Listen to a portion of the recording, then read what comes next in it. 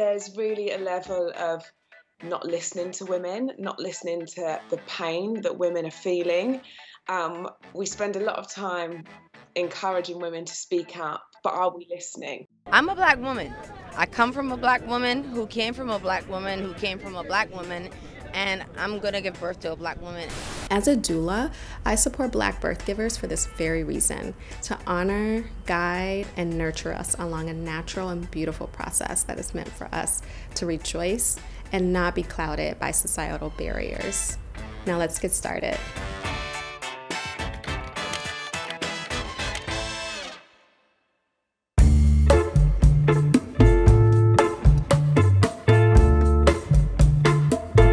Black women experience the highest mortality rate when giving birth in our hospital systems because of the systemic racism that exists. Unfortunately, black moms aren't always given the same options in childbirth. They're not always listened to, uh, believed, and so we do have to give a little extra support to our moms who are black.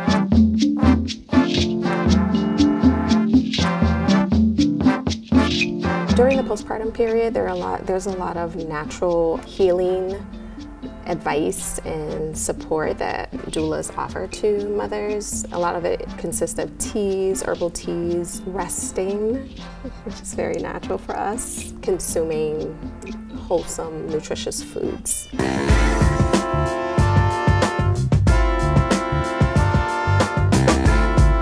During the pandemic, there has been a huge demand for doula support, mainly because during the height of the pandemic, extra family members, loved ones, and friends were not allowed in the hospitals anymore, and they only allowed a loved one and a doula, a professional doula, and we had to prove that we were professional doulas uh, by showing our certifications. And so that was different. Because of this change in the hospital system, more families begin to understand the importance of doula support during a birth. And so now we have a very high demand. We don't have enough doulas actually.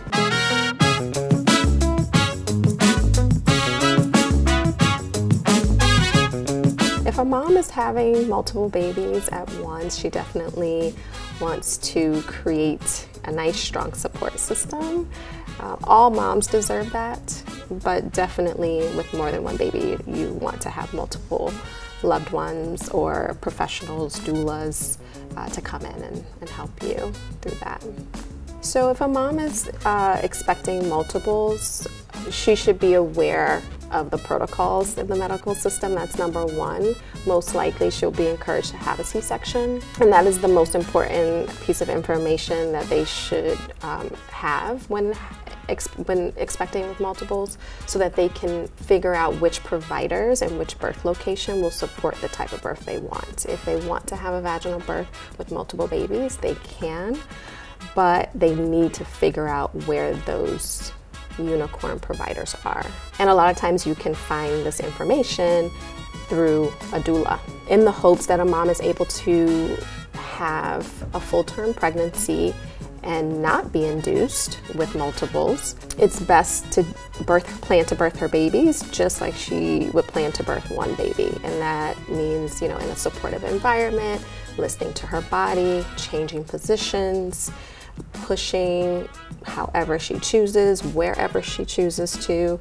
And the only difference in birthing multiples is that after you get the first baby out, you want to brace yourself to push out the second.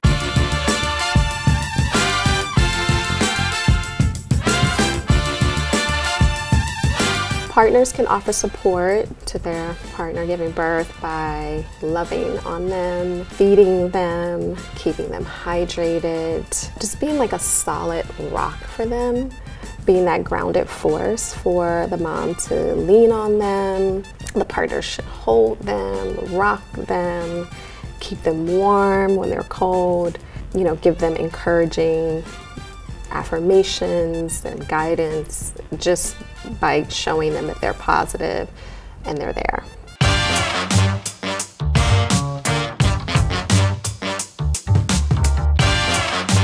The moment a baby comes out as a doula, I take a picture for the family and I allow them to have that moment. We encourage immediate skin to skin. Baby should go directly to mom. And so if we have supportive providers, they're already doing that. But as a doula, we're always, we have our eyes open so that we can jump in and advocate whenever is necessary. And so I do um, at times have to advocate for baby to be put on mom. And we encourage, you know, just mom and baby enjoying that transitional moment. We encourage one hour at least uh, of uninterrupted skin to skin. And we decline, we help families decline all of the unnecessary procedures and things that they want to do to a baby when they come out. The advocacy support does extend after the baby is born. The other most important thing is to encourage and help the baby to latch and breastfeed to get that colostrum, which is the liquid gold.